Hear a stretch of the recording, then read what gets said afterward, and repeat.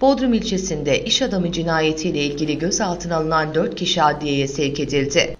En yakın arkadaşını öldüren zanlının iş adamının telefonunu ilçenin farklı noktalarında açarak polisi yanıltmaya çalıştığı ortaya çıktı. Neden öldürdünüz? Pişman mısınız?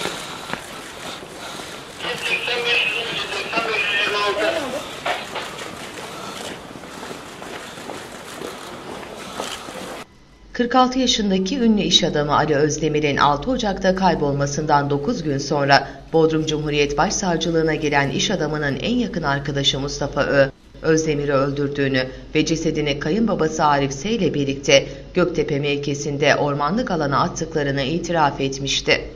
Bunun üzerine katil zanlısı Mustafa Ö ile kayınbabası Arif S, eşi Tuğba Ö, baldızı Kase ve kayınvalidesi FS gözaltına alınmıştı.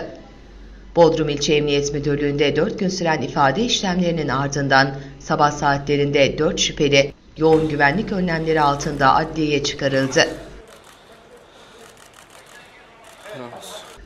Katil zanlısı Mustafa Ö, basın mensuplarının neden öldürdünüz, pişman mısınız sorularını yanıtsız bıraktı.